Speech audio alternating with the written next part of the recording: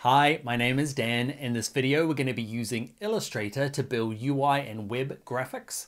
Okay, uh, there's lots of free stuff here on my channel. Please subscribe, hit the little bell next to the subscribe button to get notifications. If you want more, loads more.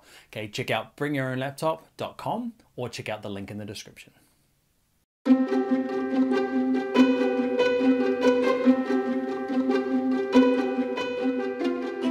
Okay, in this tutorial, we're going to look at how to start from templates. You might be really new to design in general. Okay, you might be a student, you might be young, you might be old and have never done it before. Whatever reason, you might be a little bit more daunted by the whole design process. What is it going to look like? Okay, um, it's good to start with a template.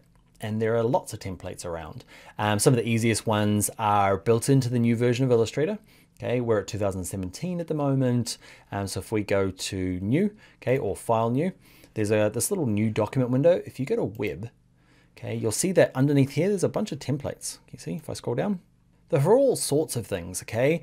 Uh, that is a landing page one, that is some presentation graphics, okay, some social media icons, there's all sorts of different ones. But in terms of a web page design, you can see there's even wireframes, look at that.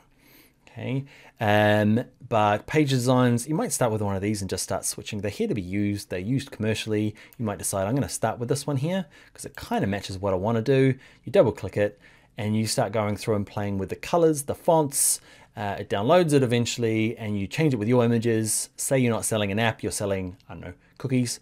You could switch it with your image here and that's a good way to kind of, I don't know, get started and just kind of has the bits you, you know, you might not have thought about. Okay, so you might just use this homepage and bin all the rest of these. Okay, so it's a great way. There's a few other templates in there. Another cool place you can go to is under this one here, under your Creative Cloud license, okay, your Creative Cloud app, there's one assets, okay, and there's one in here called market. Okay, if you click on market and um, in here, the search option, you might say uh, web UI.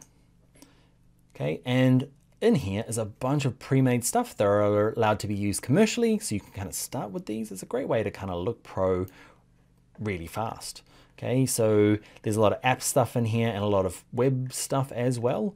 Okay, some of them are really big, some of them are just small components, but this line seems to go on forever. Okay, and to use them, say you do like this web UI thing here, like the look and feel of this for your site. Okay, you can click on this and say download to, often people will just download it to their library. Okay, it's called My Library.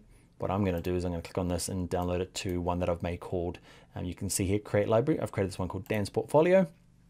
And what will happen is, hopefully, you can kind of see it happening over here under Window Libraries. There it is there. It's downloading this guy that I could start using. Okay, it takes a little while to download with the net and then drag it on. You can see here that is a, um, yeah, a UI that you could start using and changing and adding to your design, change your fonts, use your colors. Okay, it's a good way to get started from a template. All right, uh, that's it for starting from templates. We're gonna make our own one and it's gonna be awesome. How good was that, right? If you want more, go check out bringyourownlaptop.com or check out the link in the description.